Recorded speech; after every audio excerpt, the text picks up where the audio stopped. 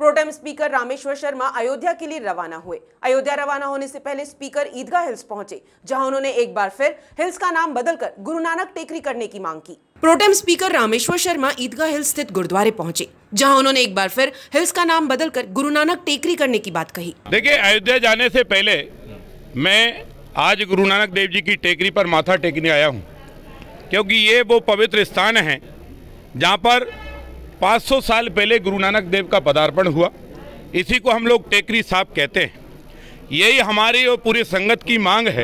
अब किसी ईदगाह हेल्थ के नाम से नहीं, नानक टेकरी के नाम से ही इसको जाना जाए, पहचाना जाए। प्रोटेम स्पीकर दर्शन कर अयोध्या के लिए रवाना हो गए। Bureau report, Vande Bharat news.